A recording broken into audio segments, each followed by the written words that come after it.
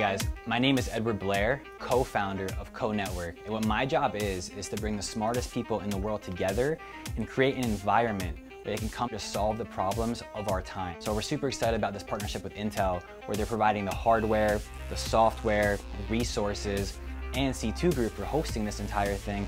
So today, we actually created teams leveraging OpenVINO and different applications that they're gonna use to solve different problems and create cool projects.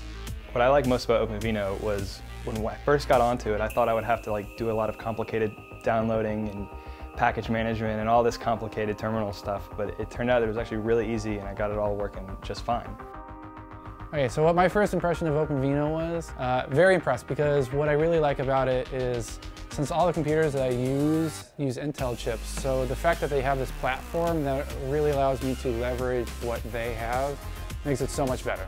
OpenVINO kind of solves a lot of issues that all machine learning engineers or data scientists face. Really gives it that extra boost that it needs to be at a very production quality that impresses everybody.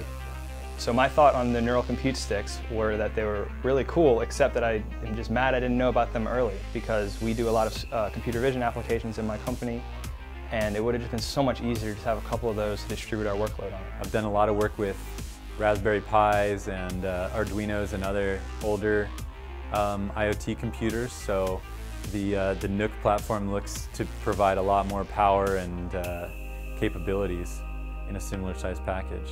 So that's exciting. I'm really excited about joining my facial recognition group.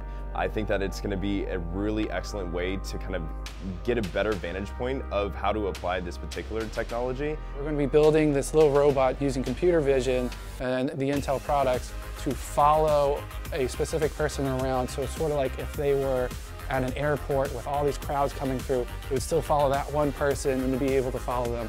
Oh, that's exciting, yeah.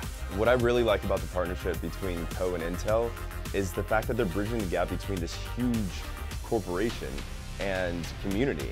Um, so we hardly get to see, you know, that type of dynamic where this company is giving us all these tools uh, to empower the direct users and engineers that are going to start building these marvelous things.